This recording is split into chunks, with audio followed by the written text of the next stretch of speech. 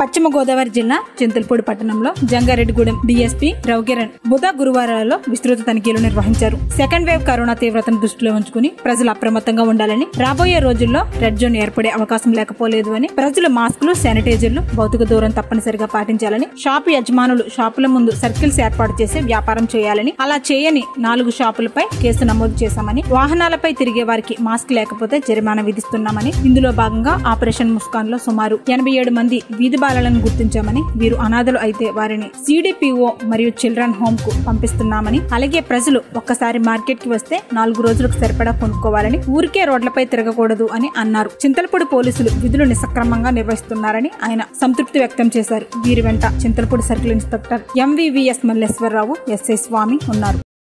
Second day సందర్భంగా already special teams పెట్టాము.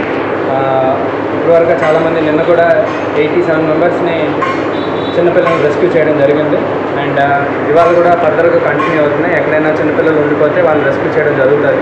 And at the same time వాళ్ళని with the help of CDPO and as well as labour department కోఆర్డినేషన్తో వాళ్ళకి మంచి facilities కోసం child homes కూడా తరలించడం జరుగుతుంది. హూ ఎవర్ పేరెంట్స్ లేని వాళ్ళందరికీ.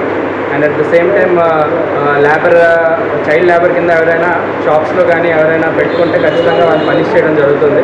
So operation Muskaan is being going on good and at the same time because of the covid second phase ఇవాళ surprise visit కూడా చేశాను. చేసి ఇవాళ అంతా పరిశీలించడం జరిగింది.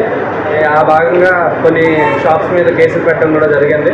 అండ్ వెహికల్స్ uh, మీద మాస్కులు కానీ ఇలాంటివి సోషల్ డిస్టెన్స్ నామ్స్ కానీ వాట్ ఎవర్ కోవిడ్ నామ్స్ ఉన్నాయో అవన్నీ పాటించకుండా ఉన్న వాళ్ళ మీద ఫైన్ వేయడం జరుగుతుంది.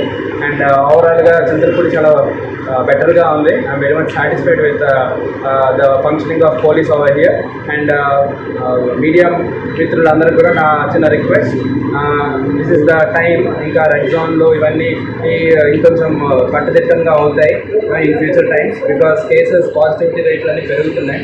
సో దయచేసి ప్రజలందరూ కొంచెం అనవసరంగా రావద్దు.